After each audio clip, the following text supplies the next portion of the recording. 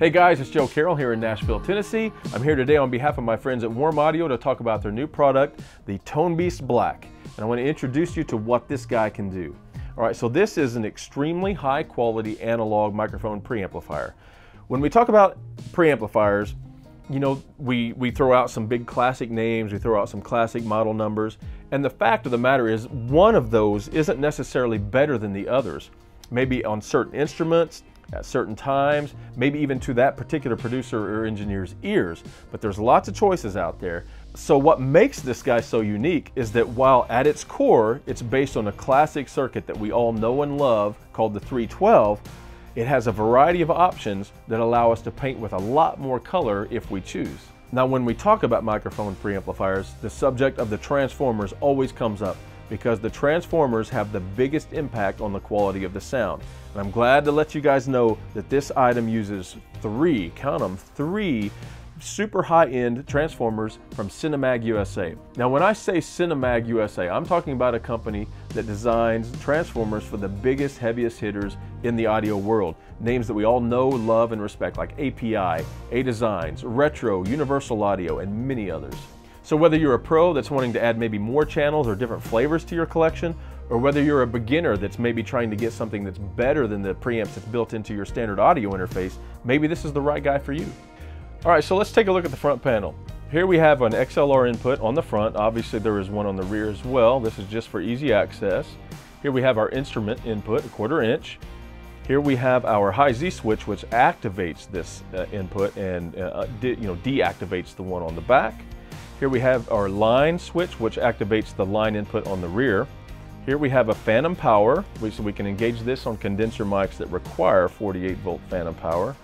Here we have a pad switch. Uh, this is a pretty hot circuit, so maybe we're recording an input that's really loud, a microphone that's got a hot output. We can engage this 20 dB pad if we need it. Here is our phase reverse switch. Uh, sometimes when recording drums and things like that, it's very handy to be able to flip the phase on certain mics. And here, lastly, we have our high pass filter switch. We can engage this button and reduce everything from below, uh, below 80 cycles. As an engineer, mixer, producer, I do not design these things. I use them. I know just enough to be dangerous. But what I do know is what I like. And the name that comes up routinely throughout microphone preamplifiers um, that I really, really enjoy using is Class A discrete. So let me you know, kind of explain what that means basically. Our signal hits an input transformer, which hits a discrete op amp, and then an output transformer. That's it. The audio path itself is very clean and very pure. Most everything else that you see in here is power supply and metering and switching related. This is a beautifully laid out box.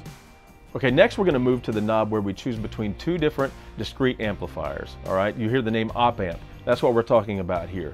So when it's set to clean like it is now, we're hitting a 918 Jensen op amp.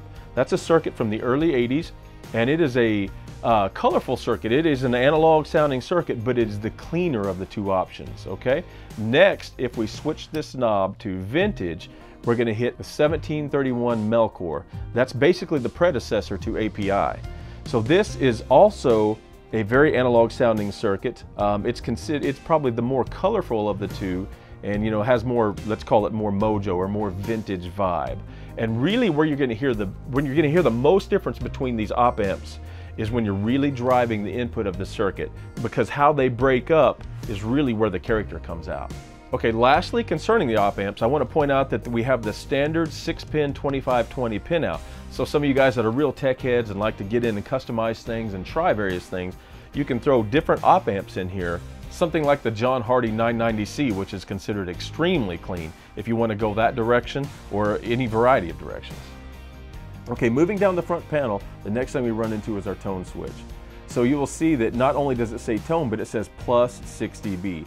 So basically that is because this is a, an impedance selector. So in addition to getting 6 dB of gain when pressing this guy, it gives you a more vintage uh, mid-forward tone. But with this button depressed, you get a more linear flat frequency response and 6 dB less gain. So it's great to have those kind of options. Okay, next down the front panel, we're coming to our two selectable capacitors. This is gonna make less of a difference, an audible difference to your ears than the op amps or the transformers that we're coming to later. However, if you're using this unit to drive into distortion, which I occasionally do, you can use this to select between these two different types of capacitors, uh, tantalum and electrolytic. Next, I want to talk about these two switches right here, and that is our selector between two different output transformers. They're both manufactured by Cinemag USA, so they're extreme top end, and this is where I hear the most difference in this unit. This particular switch right here, as I'm using it on an everyday basis, makes the biggest difference to my ears on the sound that I'm capturing. So let's start with the steel core. The steel core is going to be the most vintage, you know, maybe the most colored. Um, it, it's kind of a mid-forward thing. You will really hear it if you're overdriving this into distortion, okay?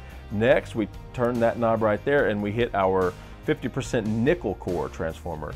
And that was custom made by Cinemag just for this unit. It's the only one just like this. And it's extremely sweet sounding. It's still, you know, a heavy weighted analog sound, but it's very sweet.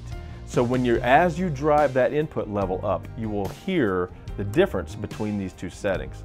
Okay, lastly, this switch here will bypass the output transformer for the cleanest signal possible. All right, next is our gain knob. And basically this is pretty self-explanatory. As we turn this guy clockwise, we're, we're sending more signal through our input transformer. Uh, we're capable of getting 71 dB of gain out of this thing, so that's pretty hot if you want it to be, you know, depending on the combination of the impedance we've selected or whether or not we have an output transformer in the path, but this is capable of adding a lot of gain. Next we have our output trim, and I call this a trim because this is not adding any gain whatsoever. This is not an active part of the circuit. So with this knob all the way fully clockwise like it is right now, we are at unity on our output. So we only turn this guy counterclockwise if we need to trim it back, you know, to adjust the recording input of our uh, Pro Tools or DAW tape, whatever it is you're recording to. Lastly, on the front panel here, we have our output LED meters here. And this is really handy because you, uh, you know, you can check it. You can look here and find the last green light is zero. So that means it's, you know, outputting analog zero. You'll, like in your recording device, let's say you use Pro Tools, depending on how it's calibrated, that's probably around minus 18. So as you drive this guy, it's telling you just how hard you're hitting this circuit. All right, let's take a look at the rear panel. We have XLR inputs and outputs. And as a nice option, we also have quarter inch balanced inputs and outputs. And then you will also see this insert send return guy. That is, it's basically placing, if you want to put an EQ or a compressor prior to the output transformers, you can insert it here. All right, so as you can see, the new Tone Beast Black from Warm Audio is an extremely versatile circuit, capable of everything from a very lightly colored clean signal all the way up to using this thing as an intentional distortion box. And I hope that you find that you will love it as much as I do.